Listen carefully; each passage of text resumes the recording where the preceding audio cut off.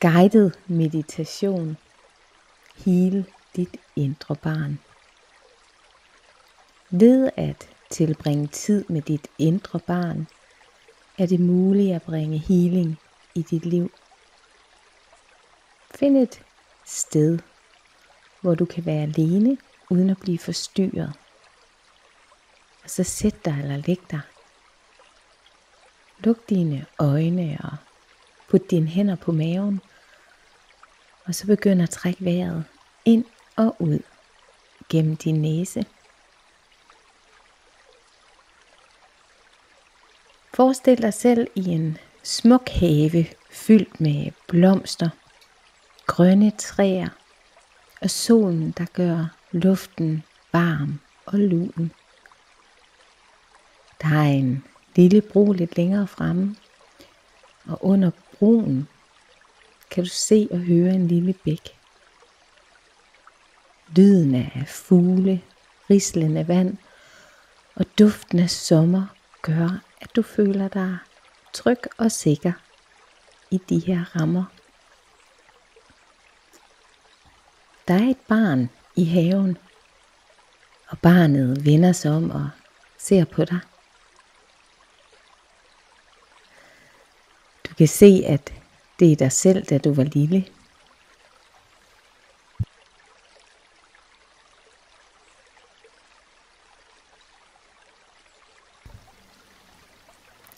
Du ser nu, hvor fuld af liv og kærlighed du var, da du var et barn. Fuld af potentiale og livsglæde og optimisme.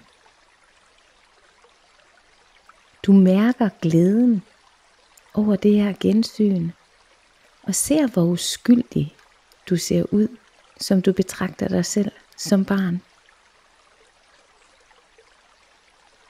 Du går tættere på barnet, og barnet løber dig i møde med armene spredt ud til siderne. Du knæler ned for at komme barnets velkomst i møde. Det er så længe siden, at I har set hinanden og tilbragt tid sammen. Brug noget tid sammen med barnet.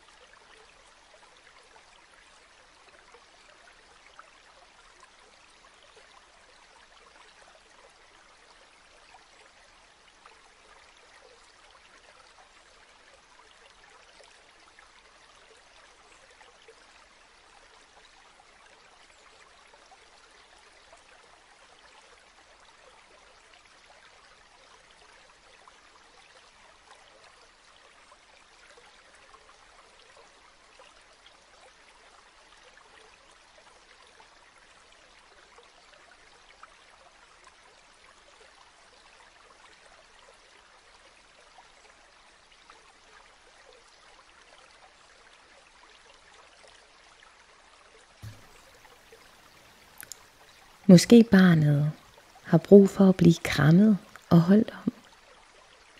Måske du har brug for at kramme barnet og fortælle det noget, så er tiden til det nu.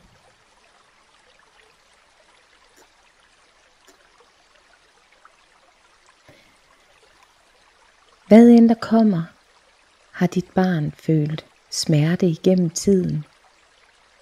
Og nogle gange er den her smerte påført af andre, nogle gange af dig. Men ved at lytte og tale med barnet, så er I sammen mulighed for at hele de sår, der indimellem stadig gør ondt. Så forstå dit barn. Lyt til det. Måske det er tid til at tilgive og sige undskyld, for ikke at passe bedre på det. Du ønsker at hele de ar og hjælpe barnet med at tro på sig selv, så det kan vokse op og være en lykkelig, glad og hel person.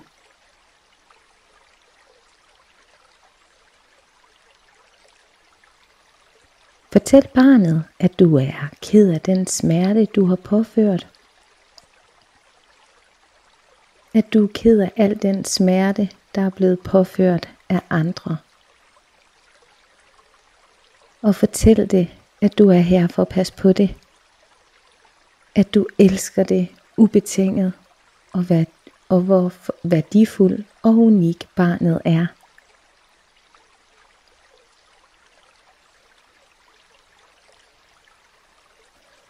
Fortæl barnet, at det er fantastisk, som det er. Og sig, hvor meget du beundrer det. Særligt for den mod og styrke, som det har.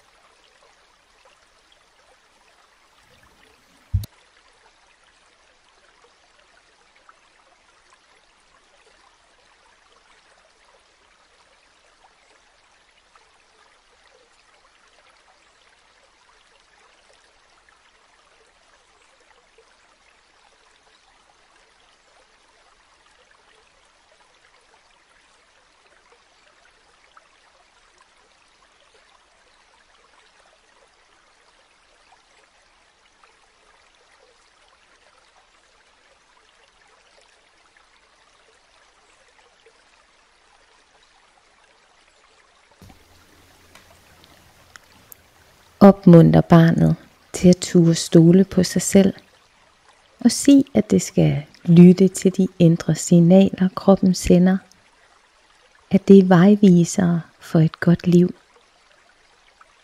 at det er okay at mærke glæde, tristhed eller fortvivlelse, da det alt sammen er vejviser her i livet. Kram barnet og giv det kærlighed, varme og forståelse. Fortæl barnet, hvor værdifuldt det er for dig, og hvor stolt du er af det.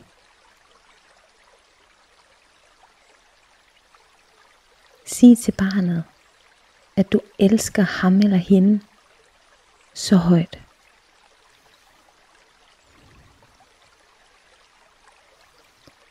Og lyt til, hvad barnet har at fortælle dig. Vær nysgerrig og spørg ind, hvis der er noget, du gerne vil vide.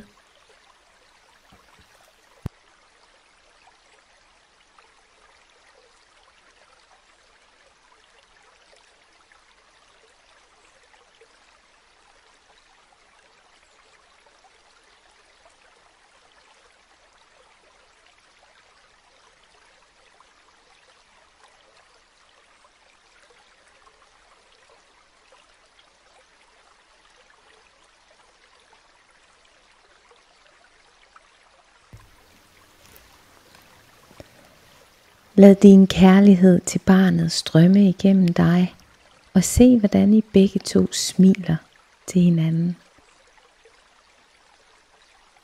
Der er et stærkt lys, der omfavner jer, og healing fra universet og ærkeenglene fylder hele haven, og dig og barnet med en vidunderlig energi.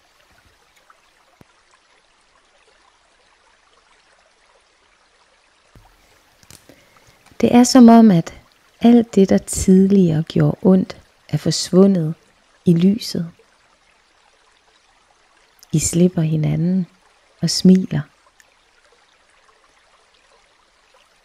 Barnet løber over til bækken, imens det griner. Og du begynder langsomt at vende tilbage til det lokale, du er i. Du føler dig lettet og glad indeni. Vid, at du til hver en tid kan vende tilbage til barnet, hvis du har brug for at modtage trøst og healing. Rigtig dejlig dag.